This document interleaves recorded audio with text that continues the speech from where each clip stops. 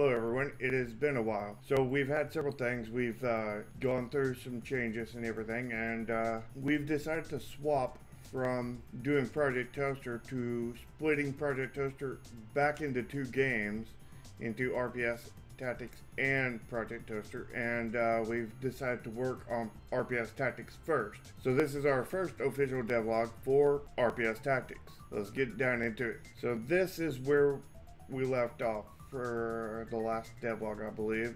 We had the uh, thing fairly shaded. We uh, missing a few parts. Doors look like crap. Lots of this, that, and other. So now that we're in RPS Tactics, we have uh, several here that are uh, quite uh, done. We have uh, all of the castle tiles in gray with the actual color scheme. We also have everything here in blue, as well as everything here in red and purple too. And we also have all the windows in every color. So then here we have our paper it done in high res. We went with the stylization choice right now of keeping the old kind of style eyes and mouth. Here we have the uh, new scissors in high res. And finally we have the, the rock here in high res. And I'm not happy with this one. I'm definitely going to redo this one I don't like it. It's getting redone. I don't know what I'm going to do here, but I'm going to do something. It doesn't look good as is. If you guys have any suggestions, leave it down in the comments, please. And this will be where you select what map you want to play. So here we have the second version of it with uh, more effects you know, making the paper look better. And uh, we have the initial kind of layout of the map. And here's the next version that has the boards changed slightly and uh, the paper has been changed and several little things have been changed. Lots of work have went into this version.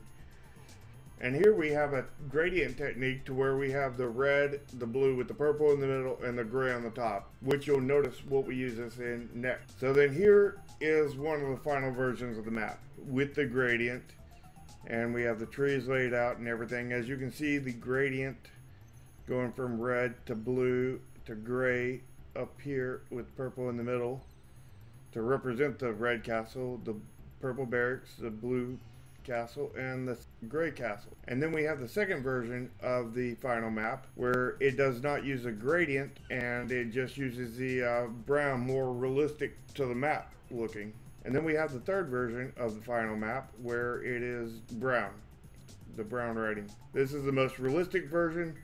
We're not sure which version we're going to use. We may edit each of them. So from everybody's feedback so far, everybody has said they like this version better. They have suggested that I lighten up the water and make it look more like it's printed on there, which I may do. And uh, we're, we're still looking for feedback. So if any of you guys in the comments have any feedback on any of the three maps, please let us know down below. Now into the combat system. We have completely replaced everything in the combat system. We have levels, experience, type, advantage. We have a variable range within the attack, so it's not always the same exact value. We have uh, speed, which is your movement. We have crit. We have HP, MP, attack, defense, magic, uh, M defense, hit, dodge, and weight.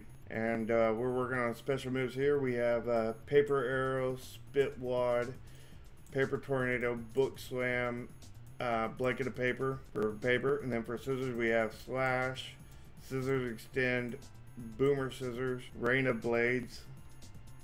Then for rock, we have Bash, Slingshot, Rollout, and Heaven's Rock.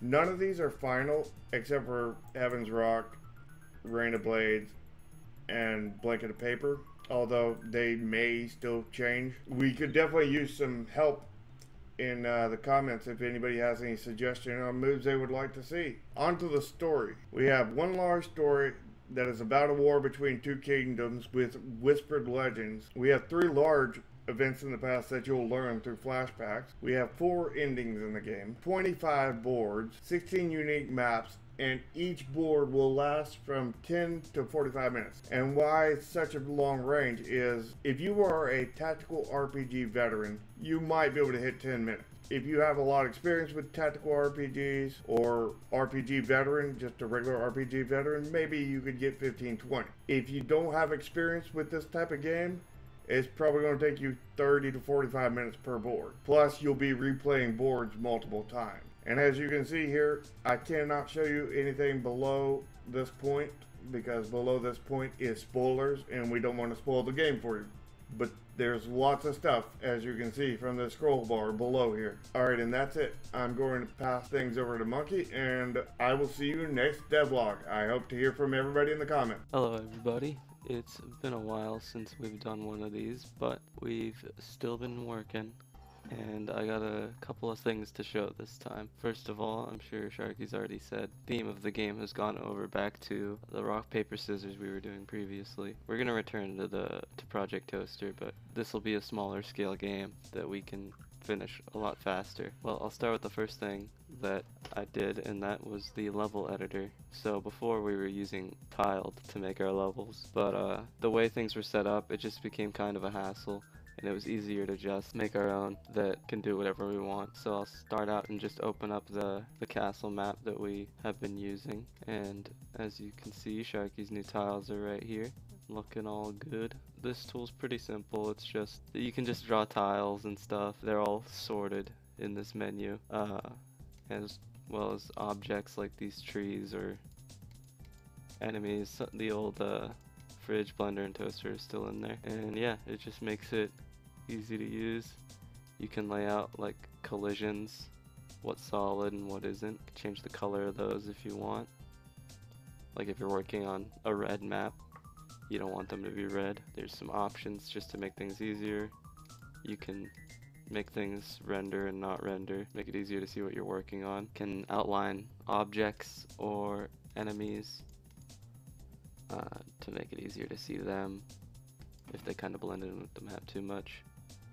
And yeah, that's pretty much the level editor. Next up is a cutscene system. Pretty simple little system.